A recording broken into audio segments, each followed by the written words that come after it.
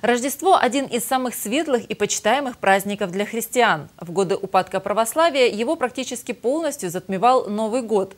Но теперь с каждым годом празднование Рождества Христова все больше выходит на первый план.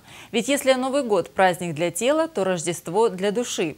6 января в Сочельник во всех приходах Славянского района прошли службы, посвященные этому светлому дню. Увидев же звезду, они возрадовались радостью весьма великою. И, войдя в дом, увидели младенца с матерью, матерью его, и, пав, поклонились ему, и, открыв сокровища свои, принесли ему дары – золото, ладан и смирну. Так описывается появление Спасителя человечества в Евангелии от Матфея.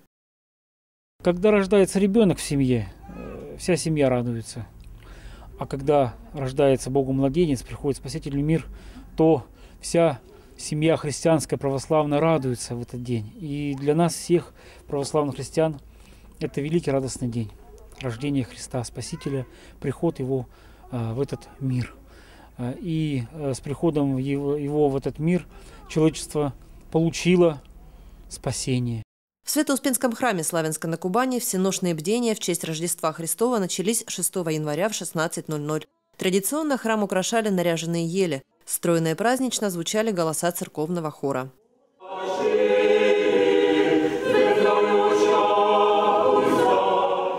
Праздничную божественную литургию совершил старший священник Святоуспенского храма Иерей Максим Пинков. Сослужили ему старшие священники Александр Голубев, Александр Кудлич и священник Василий Ткач. Из открывшихся царских врат священнослужители вышли на своеобразную солью. Так называется возвышение перед царскими вратами. Для удобства прихожан она была вынесена в центр храма. Священник возгласил «Благословен Бог наш», после чего совершил полное кождение храма. Термин «кождение» обозначает окуривание храма ладаном. Этот ритуал призван отогнать злых духов. Храм был переполнен людьми. Несмотря на то, что божественная литургия продолжалась около трех часов, многие верующие приходили в храм с детьми. Не принуждаем, сами понимают это. Мне вообще нравится очень атмосфера, когда э, все приходят щедровать, и ну, когда такое царит атмосфера хорошая. Выдержать многочасовую службу юным прихожанам бывает сложно, но само их присутствие в храме для священнослужителей – приятная тенденция. То, что дети шумят в храме, это хорошо. Тем более праздник Рождества, праздник, э, он такой детский. Э, дети всегда ждут чуда в этот, э, в этот день, подарки. А вот, мы знаем из истории, что когда наряжали елку раньше, то именно подарки не клались под елку, а вешались на елку. Оказывается, елку в первый же день ребятишки всю ее, как так разоряли ее. Естественно, вот эта вот э, традиция праздника, торжества, подарков, она переходит с поколения в поколение. Естественно, вот э, мы видим в наших храмах детей, э, вот, и это хорошо, что э, люди приучают, народ наш православный возвращается к своим традициям и приучают именно э, в этот день, э, в этот день дарить подарки именно детям. Каждым годом возрастает ответственность, с которой православные относятся к празднованию Рождества.